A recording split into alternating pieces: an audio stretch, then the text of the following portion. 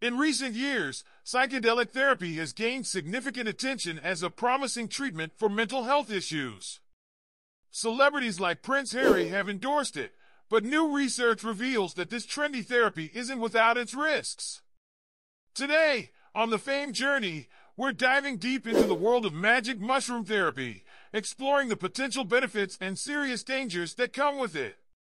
Magic mushroom therapy, using the active component psilocybin, has been touted as a revolutionary treatment for depression, PTSD, and even social anxiety in people with autism. But a recent study from the US sheds light on some troubling side effects. Researchers tracked the self-reported experiences of nearly 10,000 psilocybin users and found that over 13% reported significant psychological distress.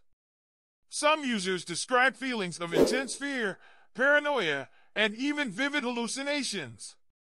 One individual recounted an experience of feelings of dying, impending doom, and torture, likening it to being thrown into hell. Another spoke of seeing demons, skeletons, and ghosts, alongside feelings of profound disappointment in themselves. Dr. Rachel Hayes, while psychedelic therapy can offer profound insights and healing for some, it's not without its risks. High doses, pre-existing mental health issues, and a lack of proper preparation can trigger what's known as a bad trip.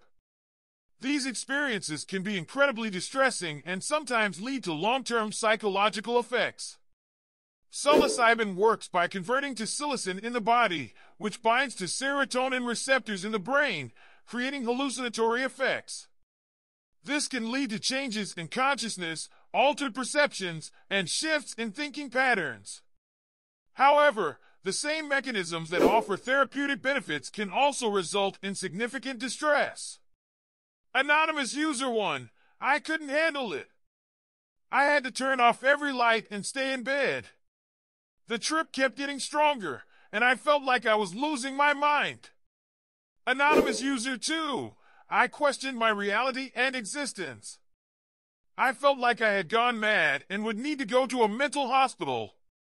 Nothing seemed to matter anymore.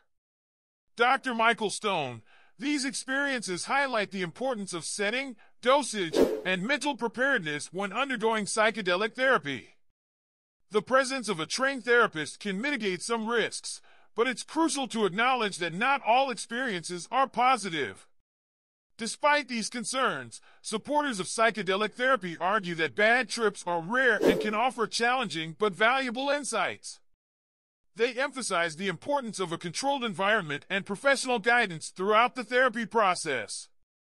David Nutt, psychedelic drugs have often been misunderstood. While they do carry risks, many negative perceptions are unsupported by current scientific evidence. With proper use, they can be less harmful than substances like alcohol and tobacco. As with any treatment, it's essential to weigh the benefits against the risks. Psychedelic therapy has shown promise, but it's not a one-size-fits-all solution. If you're considering this form of therapy, make sure to consult with a healthcare professional and fully understand the potential outcomes. Thank you for joining us on the fame journey. Stay informed, stay safe, and we'll see you next time.